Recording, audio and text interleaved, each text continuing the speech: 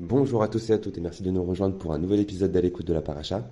Pour les nouveaux et nouvelles venus, je vous rappelle rapidement le concept de ce podcast. Toutes les semaines, je vous propose un commentaire sur la Paracha qui dure une dizaine de minutes et j'accompagne ce commentaire d'un petit extrait musical en introduction. Euh, cet extrait musical a un lien avec le commentaire ou avec la Paracha. Livre 2, épisode 6, c'est parti.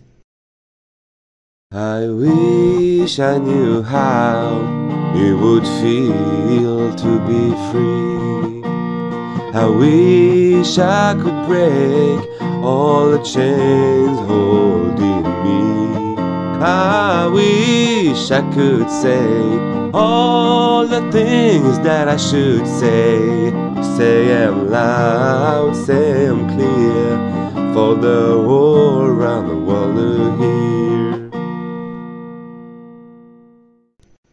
extrait musical joué modestement pour votre serviteur s'appelle I Wish I Knew How It Would Feel to Be Free et joué initialement par Nina Simone. Cette semaine, nous allons parler d'esclavage, Torah et esclavage. Le contraste entre Parashat Yitro et Parashat Mishpatim est frappant. On passe tout d'un coup de la plus grande révélation de l'histoire, celle de Dieu à son peuple lors du don de la Torah, à une section qui nous expose en détail bien des lois sociales telles que celles du meurtre, du vol, des dommages corporels. Bref, des sujets qui sont bien plus terre à terre que ceux qu'on aurait pu imaginer succéder à Yitro de prime abord. Selon la formule de Rav Sachs, c'est une des plus grandes figures de style de la Torah, le passage de la narration au légal. Mais un sujet apparaît encore plus surprenant que les autres parmi tous ceux qui sont traités par la paracha, d'autant plus en plus qu'il ouvre la paracha elle-même, et c'est celui de l'esclavage. Quelle étrange entrée en matière pour un peuple qui vient lui-même d'être affranchi de 210 ans de servitude et d'oppression, et qui euh, a connu la douleur dans sa chair. L'oppressé deviendrait-il oppresseur? Nous pouvons proposer de dire d'abord que cette juxtaposition signifie que dès que les dix commandements ont été donnés, eh bien, quelle est la première chose sur laquelle la Torah va légiférer? C'est le rapport au, euh, comment dire, à l'oppressé, le rapport aux personnes les plus faibles. Nous devons nous comporter de manière digne envers eux. Nous savons ce que c'est que d'avoir été du mauvais côté de la barrière. Mais l'esclavage, ça évoque immédiatement quand même des images de brutalité, de soumission. En tout cas, un mode social primitif, inacceptable et révolu. Et la Torah ne semble pas prohiber l'esclavage. Alors pourquoi? Rappelons d'abord quelques notions euh, nécessaires à propos de l'esclavage dans la Torah. Et vous vous apercevrez rapidement que si le terme est identique à celui euh, pour l'esclavage non juif, eh bien, il recouvre néanmoins deux systèmes fondamentalement différents à bien des égards. D'abord, selon la Torah, il y a deux types d'esclaves. L'esclave non juif, qui s'appelle euh, Eved Kenani, et qui a été vendu à un maître juif. cet esclave non juif arrive d'une autre contrée et est vendu à un maître juif. Le deuxième type d'esclave, c'est le Eved Ivri, c'est l'esclave qui est juif. Évêque d'Ivry est en réalité euh, quelqu'un qui est engagé pour six ans euh, pour travailler chez un maître jusqu'à euh, l'arrivée eh du, de l'année du, jubilé. En tout cas, le premier des deux qui arrive, soit l'année du jubilé, soit six ans révolus. Mais nul ne peut réduire son prochain à l'état d'esclavage par la force. Une personne ne peut devenir esclave que dans un cadre judiciaire, euh, soit pour échapper à une extrême misère, quelqu'un qui est complètement euh, démuni, qui n'a même plus de quoi s'habiller, eh bien se vend, vend ses services pour pouvoir retrouver une vie. Ou alors pour rembourser le montant d'un vol. Quelqu'un qui a commis un vol et qui ne peut le rembourser, eh bien va vendre ses services. Enfin, va vendre. Il va être vendu par euh, la juridiction pour rembourser le préjudice. Et au terme de ces six ans, ou au terme de la période en tout cas qui est assignée à cette personne-là, eh bien le évêque d'Ivry, l'esclave juif, a l'option soit ben, de regagner, de s'affranchir, de regagner sa liberté, ou alors de euh, continuer sa servitude euh, jusqu'à l'année du jubilé. Mais la Torah désapprouve euh, cette persistance d'état de servitude parce que si l'esclave choisit eh de renouveler son, contrat, eh bien, il devra, on devra lui poinçonner l'oreille. Justement, on rappelle que nous sommes pas censés être en état de servitude d'un autre homme, nous sommes les serviteurs de Dieu. Donc, pour résumer, en essence, un esclave dans la Torah, c'est simplement quelqu'un qui est employé pour une période donnée. la seule chose qu'il a de commun avec un, esclave, euh, on va dire, euh, régulier, non, j'ai pas envie de dire normal parce que c'est pas normal d'être esclave, mais un esclave dans le, dans le sens commun tel qu'il est admis, eh bien, c'est que pendant cette période-là, qui lui est, comment dire, attribuée, eh bien, il ne peut pas changer d'avis, il ne peut pas partir de, de là où il est, de chez son maître, à moins eh bien qu'il ne s'affranchisse, qu'il ne se rachète ou qu'il soit racheté par quelqu'un d'autre. Tout ceci est encadré par un système euh, légal euh, très contraignant. Euh, le maître ne dispose pas de la vie ou du corps de son esclave, mais uniquement de sa force de travail. Par exemple, s'il le mutile, et c'est une pratique répandue pour marquer et distinguer les esclaves, eh bien, il est immédiatement affranchi. par exemple, il lui casse une dent, s'il lui crève un œil, eh bien, l'esclave retrouve automatiquement et instantanément sa liberté. Le maître n'a pas le droit non plus de lui faire des travaux avilissants ou humiliants. Le maître euh, est tenu de lui fournir une nourriture et un confort de qualité équivalente au sien. S'il a un bon vin, eh bien, il donne à lui aussi. S'il a du bon pain, il doit lui en donner à lui aussi. S'il euh, a des couvertures chaudes, il doit lui en donner à lui aussi. S'il n'a qu'une seule couverture, c'est à l'esclave qu'il doit la donner. Etc., etc. Ces lois font dire à l'Agmara que quiconque acquiert un esclave acquiert en réalité un maître. Ainsi, le régime que la Torah prévoit pour l'esclave s'apparente bien plus à celui d'un domestique. Il est nourri, il est logé, il est protégé, on ne lui donne pas que le strict minimum pour sa survivance, pour qu'il puisse continuer à nous servir, mais on lui donne tout ce dont il a besoin pour conserver sa dignité.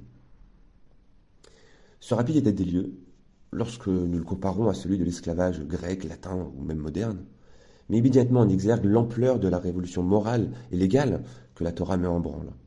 Si la Torah maintient le statut légal de l'esclave, elle met aussi l'emphase sur le respect de la personne et de la dignité humaine. L'homme a été créé à l'image de Dieu et nous ne pouvons bafouer sa dignité. Dans son commentaire, dit Yukim, Rabbi Wolf euh, pose une question euh, très originale à propos de ce sujet. Si la Torah est tellement humaine, pourquoi est-ce qu'elle permet l'esclavage? Que ce soit d'un ivri, d'un hébreu, ou bien d'un canaanite, d'un étranger.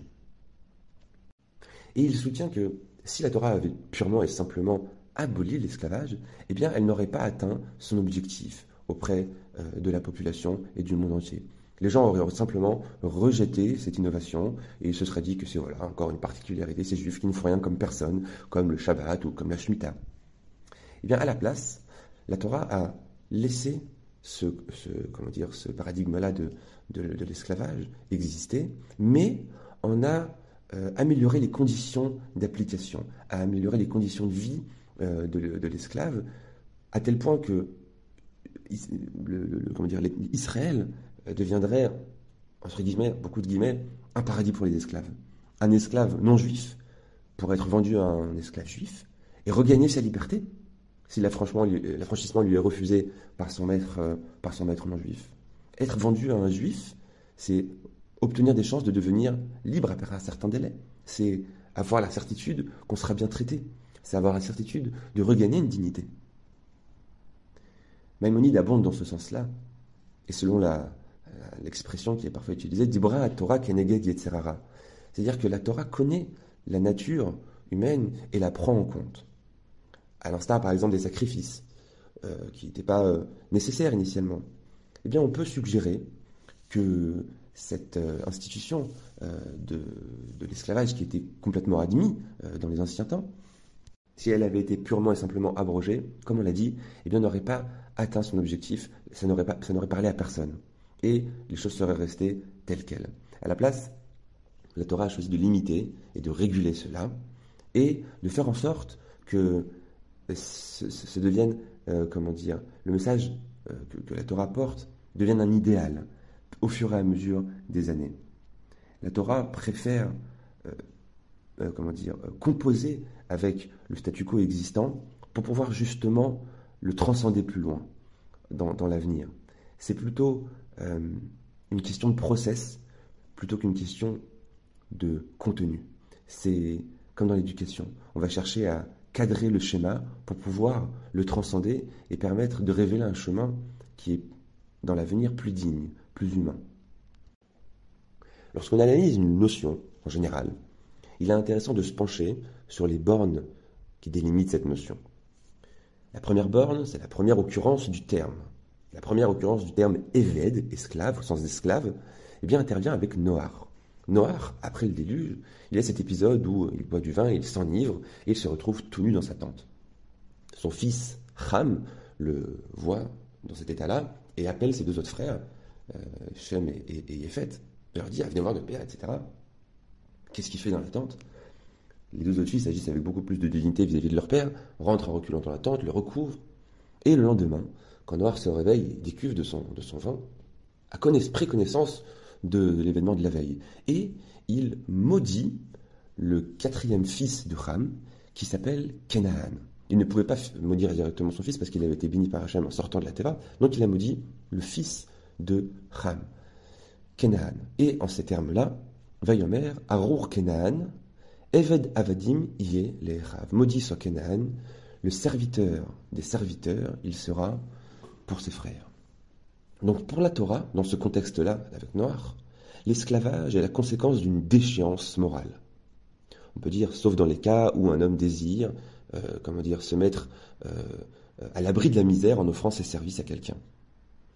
Ainsi, et contrairement aux conceptions antiques qui faisaient valoir une prétendue différence de nature entre l'homme libre et l'esclave, qui implique un caractère éternel et immuable de cet esclavage-là, eh bien pour la Torah, l'esclavage n'est nullement un facteur sociologique ou psychologique de la société. Il est voué à disparaître au fur et à mesure de l'évolution morale de l'humanité et du délitement de cette déchéance morale. J'aimerais ici m'autoriser un petit risque et dire la chose suivante. On peut lire dans cette grille de lecture-là peut-être la preuve d'une nécessité d'un parallélisme entre l'évolution des mœurs d'une part et l'évolution de la loi d'autre part. Et c'est peut-être la raison pour laquelle la Torah n'a pas imposé l'abolition pure et dure, c'est ce qu'on a dit en fait, un peu plus haut, et a posé le cadre qui mène à la prise de conscience. Mais peut-être est-ce là une potentielle cause de la dissonance que nous voyons entre l'abolition de l'esclavage, par exemple aux États-Unis, début 19e, versus bah, les lois Jim Crow et la ségrégation, à peine quelques décennies plus tard, et ce jusqu'à la fin des années 60. Donc d'un côté, on a aboli l'esclavage, mais en fait, rien n'a changé. Ils sont peut-être plus esclaves, mais ils sont tout aussi mis au banc de la société.